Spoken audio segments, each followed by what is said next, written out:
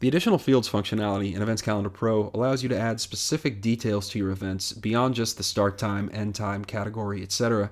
that appear up top the event listings above the description itself.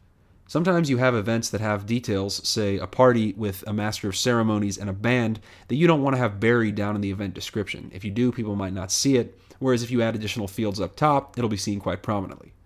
I'm going to showcase how this works because it still might not make sense, but just know that if you're trying to make sure something is important and something is seen by your users, you may want to consider adding it as an additional field.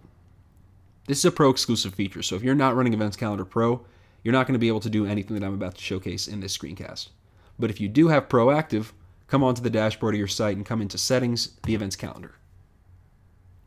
When you're in, we're going to go from the General tab over to this Additional Fields tab, which again, if you're not running Pro, you're not going to have this tab at your disposal.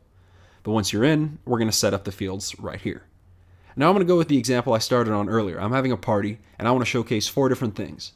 The Master of Ceremonies, the band, the prizes we're giving away, and the caterer. We're going to do all those right here, and you'll see there are four different field types, so that'll give us perfect excuse to use all of them. Let's start with the Master of Ceremonies. I'm going to add the field label, what I want that to appear as on the front end right here. And I'm going to select what type of field the user actually creating the event gets to use to input this data. If I leave it as a text field, that means they're going to have just a totally blank field like this where they can type in the Master of Ceremonies name. I'm fine with that. I trust the people putting together events on my site, so I'm going to leave this as is. If I had selected one of the other items from the dropdown, you would see an options field over here, which we'll see in a second, but text won't show anything there, so just leave it as is and then come over to click Add Another. Here we're going to set up the band. So I'm going to put the field label as band, and rather than use text, I'm going to go with radio. Options, one per line, means I'm going to have three different bands that my users can choose from, one on each line.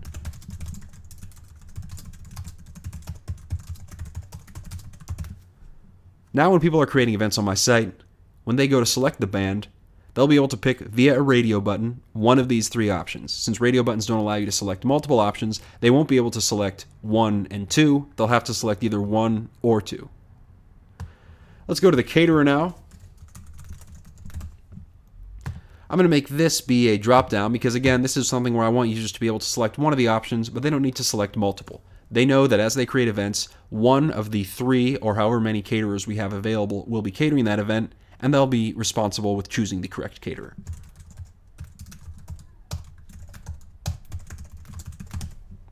All set there. And even though I'm only adding three per example here, you can by all means feel free to have more than three. You can see you can expand the box a little bit if you wish, so the more options you have, there's totally flexibility for it. For the sake of efficiency, I'm just using three. So we've got the Master of Ceremonies, we've got the band, and we've got catering. All that's really left to do is the prizes. So let's put that in as the field label. And here I'm going to select this as a checkbox. I'll add my different options here. Again, I'm only going to use three.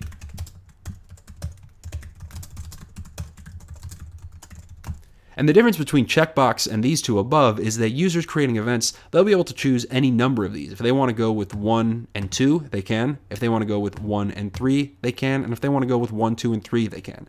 The option is theirs. Just know that unlike radio and dropdown, checkbox does give a little more flexibility to the people creating your events.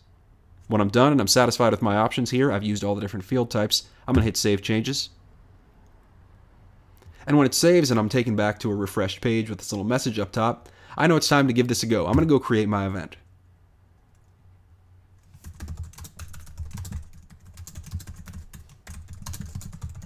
I'm configuring it just like I would any other event, adding my title, adding my description, setting up when the event itself is actually going to take place, selecting my venue and organizer, and then I scroll down and I actually get to the event custom field. So this is where everything that I just put together is finally coming into play. You'll see Master of Ceremonies. I have a field right here where I can enter the name. I can select the band, one of the options here. I can select the caterer, again, one of the options here. And I can select the prizes we're giving away. Here I have some, some flexibility, so I'm going to say we're giving away the Chevy and the bottle of wine tonight. I can add a cost if I want to, don't have to. And then I can go publish my event. Now, if all went according to plan, the custom fields that we configured on the back end will carry over to the front end. Let's take a look. So far, so good. It looks like we're in a great position here. You can see the traditional data, the event name, the date, the cost, etc. all appears. But so does the rest of the fields that I just added here. The Master of Ceremonies, the Band, the Caterer, the Prizes, everything's carrying over as I had hoped it to, and it looks like it fits naturally in amongst the rest of this data. That's the event custom fields functionality. Even though I only added four, you can feel free to add as many as you see fit. And again, options, you can add as many as you want per option as well. Just note that as people are coming to your site and are creating events, anybody who creates events is going to have these custom fields at their disposal. So if you are worried about these being used after, say, the catering has expired, you're no longer having catering on your parties, you should probably go into the settings page and take that off because it will be available for anybody creating events to use until you remove it on that page. Removing it's quite easy. Just come into settings, the events calendar again, navigate right back into that tab for additional fields. And where you previously saw the add another link, just hit remove. It'll confirm whether you want to, hit the OK box if you do, and once that's done, make sure to save your changes. That's the additional functionality field, or excuse me, additional fields functionality in a nutshell. It's pretty straightforward. If you have any questions about it, shoot us an email pro at tri.be. Thanks again, folks.